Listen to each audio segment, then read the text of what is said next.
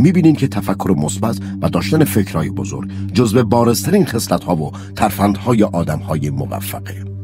در حالی که افراد ناموفق همیشه دچار ذهنیات منفی هستند و از موضع ضعف با مسائل روبرو میشن. یکی از بدترین هایی که ممکنه زیاد دیده باشین و تقریبا تمام افراد ناموفق به نوعی بهش دچارن آرزه که من اسمشو مرض بهانه جویی می‌ذارم. وقتی زندگی افراد بهانه جو رو بررسی می‌کنیم می‌بینیم که دقیقا همین بهانه تراشیه که بین آدم های موفق و ناکام تفاوت ایجاد می‌کنه.